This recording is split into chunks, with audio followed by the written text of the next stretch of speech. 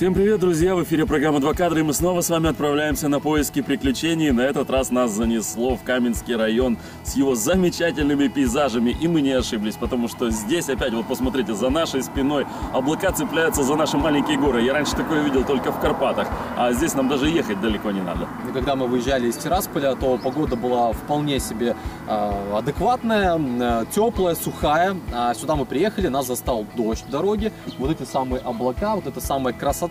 И мы, скажем так, э, немножко решили скорректировать свои планы, потому что то, что мы задумали, не получится сегодня из-за Просто погоды. мы только приехали, а у нас уже мокрые ноги, поэтому мы сейчас будем искать, кому напроситься в гости, хотя бы чтобы просох. Да, это будет э, ответ на вопрос, где остановиться, если вдруг непогода застала вас в дороге. А заодно познакомимся с местными жителями.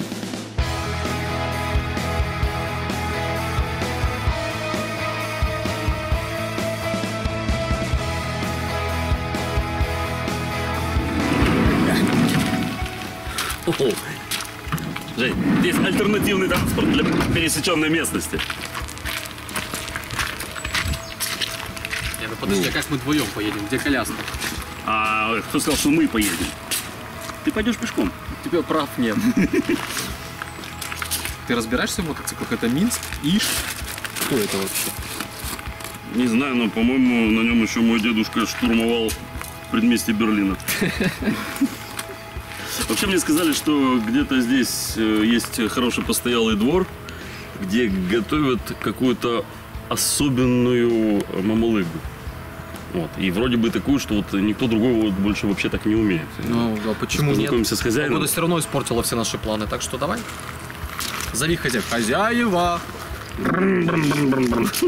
Заводи, поехали. Вы хозяин всего этого великолепия. Сегодня, да, завтра не знаю. Уж Юра. Приездом, Дмитрий. Женя. Очень приятно. Проходите. Да? О, спасибо.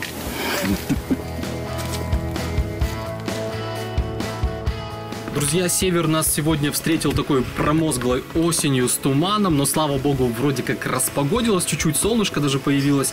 Юру забрал Дмитрий Алексеевич, они будут готовить свою знаменитую мамалыгу, а мы с вами прямо сейчас проведем небольшую экскурсию у Дим Димыча. Ну, вот за что я люблю нашу работу, это за то, что можно всегда напроситься к кому-то в гости, да при этом еще и на какое-то особое блюдо и его продегустировать. Как говорится, не обжорство ради, а пользы для. Мне уже несколько лет назад э, тому рассказывали о том, что здесь по доме живет человек, который делает какую-то особую мамалыгу, которую вот больше никто не умеет делать. Она у какая-то слоеная.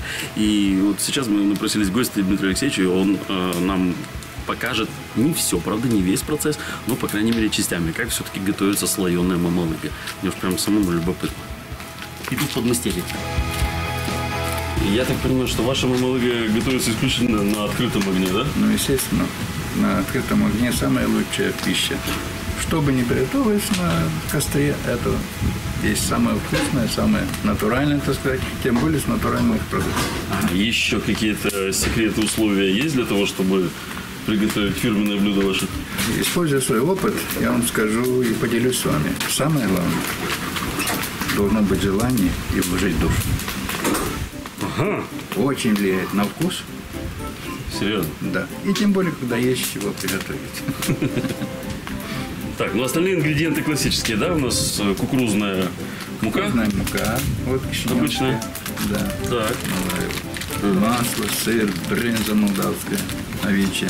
То есть, ну так вроде пока ничего необычного. Все как оно. да, сыр российский. Ну, как бы так особо нет. Первые стадии приготовления то же самое, не, отличается от стандартных. Воду посолить, все.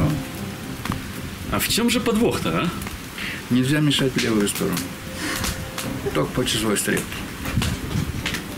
Ну ладно, хорошо, помешаем. Вы мне дадите помешать? Конечно. Хоть что-то мне доверит.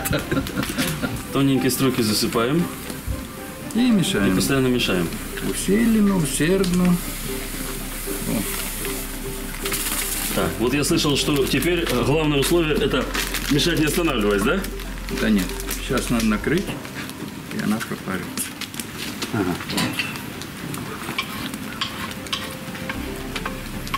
Чистим лопаточку и просто накрываем.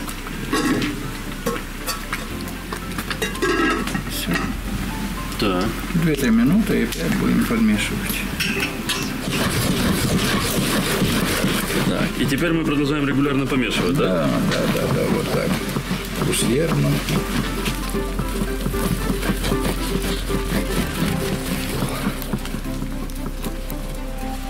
Вы знаете, я хотел э, попросить, э, чтобы вы мне дали тоже помешать, но я смотрю, какими движениями уверенными вы это делаете.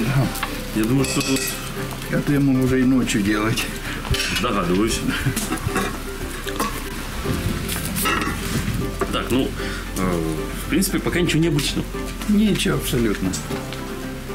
Необычно будет э, потом в результате. Думаю, да. Надеюсь.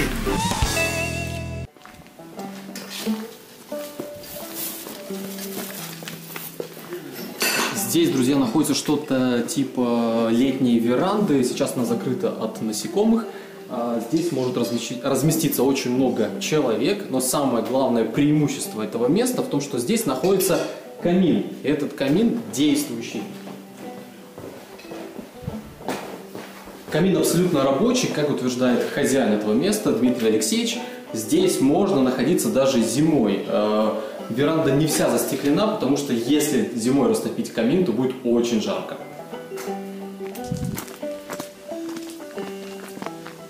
Я вижу какие-то домики очень даже приличные, которые далеки от понятия сельский туалет.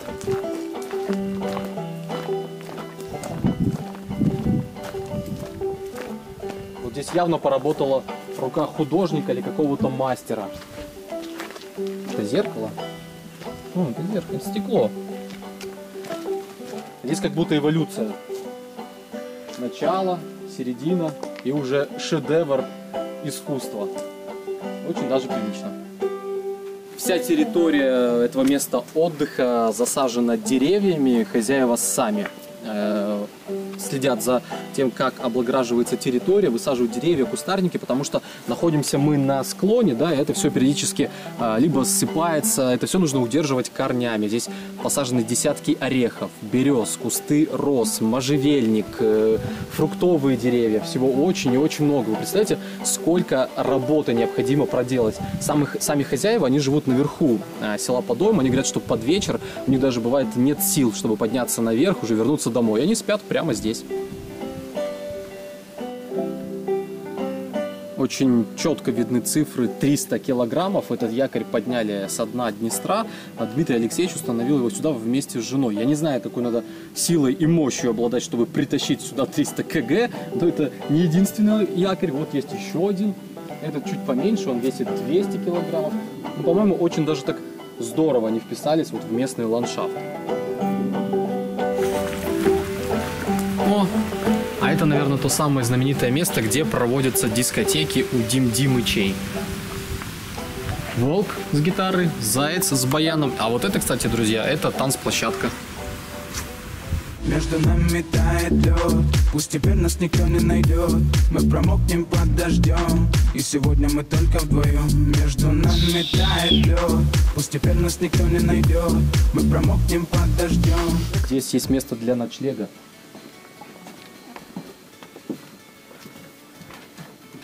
Посмотри, какая она мягкая.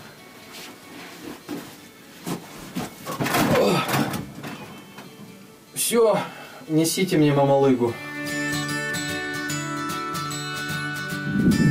В Подойме есть свой трон из Игры Престолов.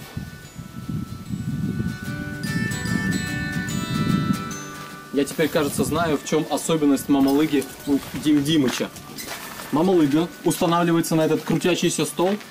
Стол начинают раскручивать, и ты должен успеть заскочить сюда. А если заскочил, то попробуй еще и съесть эту самую мамалыгу. А? А? А? Вот так.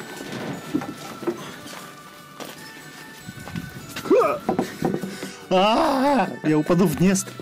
Днестр там. Он опять там. А теперь начинаем наш тур по беседкам. Две наверху уже были. Загибаем пальцы. Третья крутящаяся. Она идет, кстати, за две. Э, Пятая пятая большая.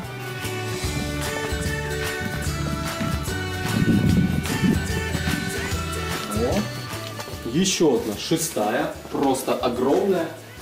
И со своим мангалом.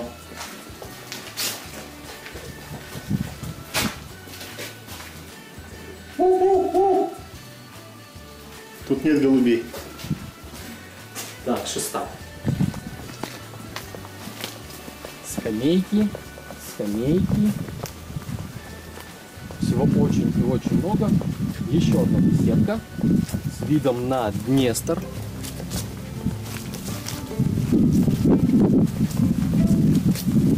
И какой-то натянутый трос. Что-то мне подсказывает, что это сделано для какого-то удивительного развлечения. Может попробуем скатиться? Надо найти какое-то приспособление, по которому, как Джеймс Бонд, мы будем спускаться вниз.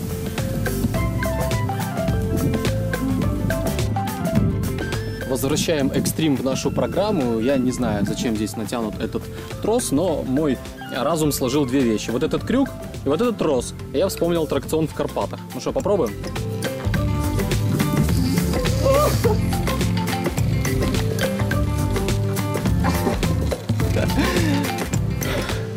Провисает, друзья, ну, немножко я прокатился. Я думаю, что на Юре этот рост бы оборвался вообще. Потому что Юра как-то за это запустил себя.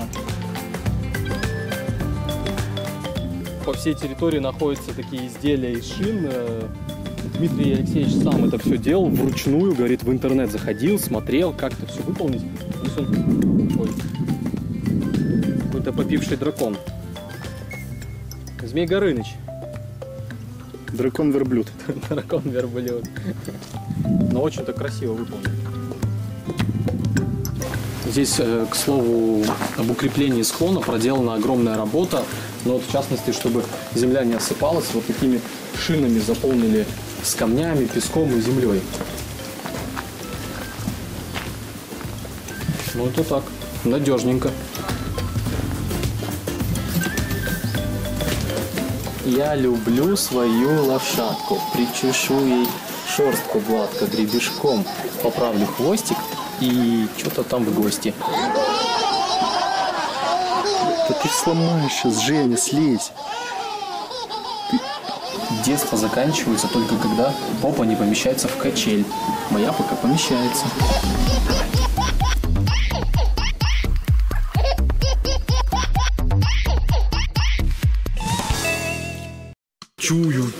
Чую запах молдавской мамалыги. Кажется, она уже готова. Пойдем узнаем.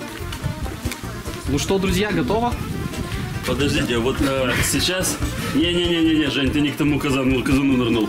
Э, дело в том, что вот э, мы присутствовали при зачатках, скажем так, Подожди, при, при Юра, где этапах. мамалыга? При- Подожди, сейчас она готовится. Мне сказали, что э, неофитам, э, непосвященным э, нельзя присутствовать при финальных стадиях ее приготовления. В общем, там э, секретные какие-то ингредиенты, секретные способы приготовления. В общем, какую, какая-то часть рецептуры м, от нас будет укрыта. Вот единственное, что мы в ближайшее время увидим, это то, как она... Да, и попробуем, как она будет, будет выглядеть в Короче, результате. где мамалыга, ты не знаешь. Пока Дим Димович тебя никто не знает. убалтывал, Дмитрий Алексеевич свое дело сделал, да? Никто не знает, где. она. Молодец. Сейчас смертным э, вот э, в эти чертоги вход запрещен. А мы могли разбогатеть на этом рецепте, между прочим. Ну, не мы, а вы. Или наоборот. Нет, э, придется все-таки ограничить. Все будет так, окей. Увы, мы ограничимся только тем, что узнаем, каково это на вкус, увидим, как это выглядит. А вот рецепт останется тайной. Не будем терять время. У нас есть еще десяток другой минут, пока последнее приготовление мамалыги. Тем более секретный ингредиент нам никто не раскрывает, да? Да, есть предложение сходить пока в село. Дело в том, что вот эта местность, друзья, где мы находимся, издавна называется помидорной столицей. Еще так шутливо говорили. Подойма подоймится, помидорная столица. А Здесь когда-то был колхоз-миллионер, да, и в принципе, который занимался овощеводством в основном. И все местные жители, каждый у себя держит обязательно какое-то приусадебное хозяйство. э, И говорят, что они очень преуспели. Вот. В Особенно этом деле в производстве томатов. лучшие в Приднестровье, наверное, в Молдавии и в Украине, да, то есть самые лучшие производители помидор на свете начинают еще зимой и заканчивают уже поздней-поздней осенью, буквально под Новый год. И нам очень интересно, как это все происходит. И Юра, как человек, который учился целоваться на помидорах, он сейчас нам это все продемонстрирует. Знаешь, на чем ты сейчас будешь учиться? Это не для камеры. О, Кстати, Жень, смотри, там вот э, женщины сидят э, вдоль дороги, и я уже отсюда вижу, что продают красивые, круглые такие спелые помидоры. Э, помнишь, мы осенью, когда здесь ездили, здесь вдоль дорог сидит куча народу с грибами. Да, грибов очень много. Но время грибов еще, наверное, не пришло, такой массовых грибов. А мне уже заказы поступили. Говорят, будешь э, в Ехать на Каменском районе, обязательно, говорит, бери с собой пакеты, бери с собой ведерки и что-нибудь оттуда привези. а Друзья, как насчет помидорок. Да, сегодня? лучше помидоры привезем. Идем спросим? Пойдем. Почем помидорки? По 6, по 8. Опять по 6 по 8. А что это за сорт? Дельфин. Дельфин? И русалка? А вы дома выращиваете? Прямо вот здесь в огороде? Вот огурцы. ты! А можно пойти посмотреть? А можно посмотреть вашу теплицу? Кабачки. Вот это маленькая калитка. Мы наберемся наглости. Можно мы вот прямо вот зайдем к вам туда в теплицу посмотреть, что вы там выращиваете? Да? Идите, посмотрите. Не, ну так... Только я, только я собирала, а сегодня огурцы там не найдете. А кот почем? Продается. Не продается? Ну да, такого обаяху я бы тоже не продавал.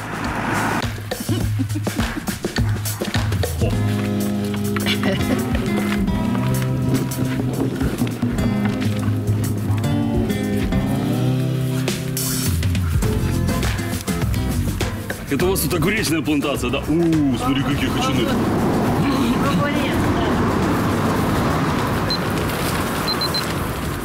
Хорошо спрятали с дороги, да? Лягушка. Что, лягушка? Такое какое-то образцовое хозяйство. Искали помидоры, нашли капусту. Причем, э, друзья, э, это, это вот первый попавшийся двор, в который мы зашли. Стройными рядами громадные кочаны капусты. И вот здесь вот в теплице я смотрю прямо вот целая плантация. А ну идем отсюда. Ну, тетя Кать, показывайте. Ой, а у вас тут печка-буржуйка? Это центральное отопление прям какое-то. Стоп, а вот сказать честно, э, я дуб дерева вот э, в тепличном хозяйстве, э, я смотрю, что там вот труба торчит, а здесь буржуйка. Вы что, отапливаете эту теплицу? Конечно. Дровами или газом? Дровами, дровами. А и что, его и зимой здесь производство не останавливается? Зимой производство не останавливается, и это по второму кругу уже сажали. Можно посмотреть? Посмотрите, только вот что-то надо опрыскивать, потому что они на- желтеют уже надо. Погода какая-то. Да, да, Как это в этом году. называется? Аккорд. Аккорд. Это все аккорд. Да, да, да. Ля минор. Да? Лев. Вы с утра все собрали, да, уже? Да, я сегодня собирала, да, вот вышла немножко. Тетя Катя, до какого времени можно будет собирать огурцы здесь? Ну, я знаю, да. В ноябре, может, я знаю. Да, руками, да.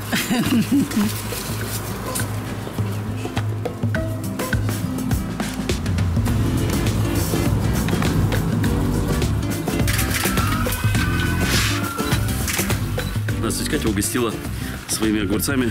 Э, аккорд похож на корнишоны. Маленькие такие. Ага. И хрустящий, да? Ну, Это неправильно. Огурец дарит прохладу и, скорее всего, силу земли. Но надо не отрывая от грядки. Да вы, батенька, поэт. Начинается рубрика «Покажи свое хозяйство». Именно здесь выращиваются самые вкусные помидоры подолька, да, Ну тетя да, да. Самые вкусные. Самые вкусные. А в чем вот а, главная, не знаю, особенность их? Э, Они на закатку хороши или И наоборот на свежем виде? закатку, и кушать, и все. Они мясистые, хорошие, вкусные, да. А когда начинаете работать в теплицах? В теплицах мы в это...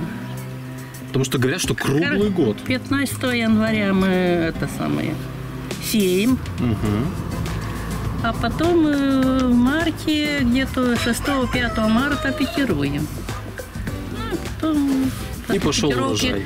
Уже 10 апреля уже в теплицу сюда сажаем. Когда-то пытались подсчитать, сколько тонн помидор э, выращиваете, ведер?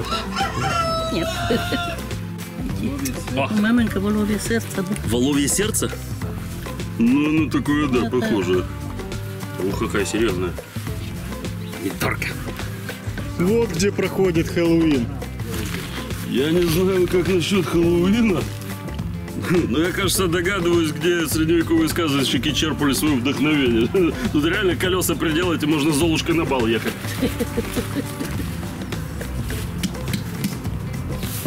Ух, чудовище! Так, на Хэллоуин мы приезжаем к вам. Ждем ла, ла, ла платинки в кабак. Жень, есть тема для еще одного кадра. Вот. А, рабочая колхозница, точнее, смотри, а, у нас э, символы программы будут не серп и молот, а серп и GoPro камера.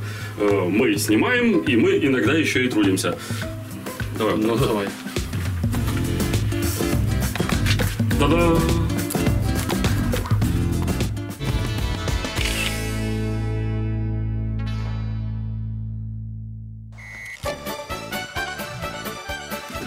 Та-дам! Бурные овации. Но она и выглядит уже необычно. Она мне, честно говоря, больше напоминает торт. Она как есть, как торт. Обычно она круглая такая. И режете вы ее как тортик. Потому что э, можно нитку резать, но поскольку тарелка не дает, она имеет глубину, не дает нам возможности порезать ее ниткой. Ну, я знаю, что традиционно обычно на ниточке так. Слушай, ну так вот составной э, Ничего кукурузный тортик. Да.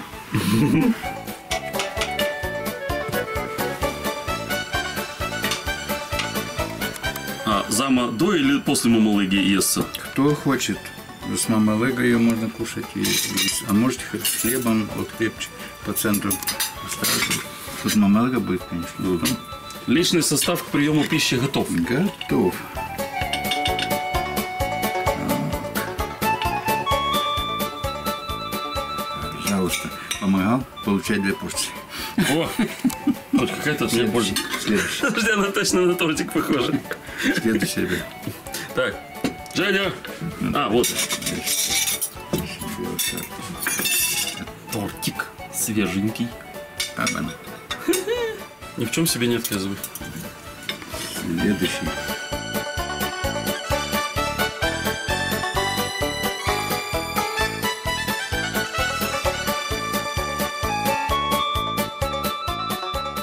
Ну что, вкусно хоть?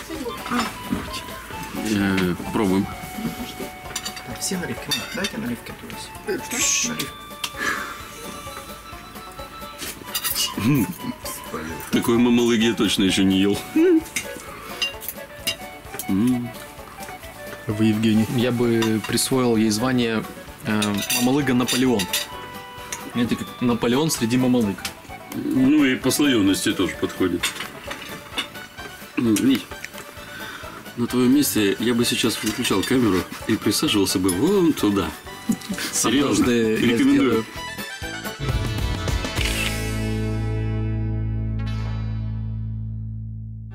Друзья, вот и закончилось наше очередное путешествие на север. Э, Мы открыли для себя новый горизонт и, надеемся, для вас открыли новое место отдыха и новый рецепт, ингредиент секретный, которого мы так и не распознали. Вот.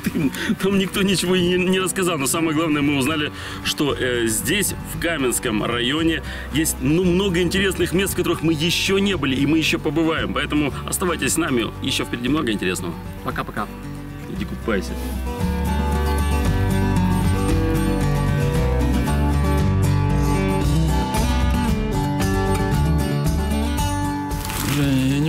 Больше есть мамалыгу.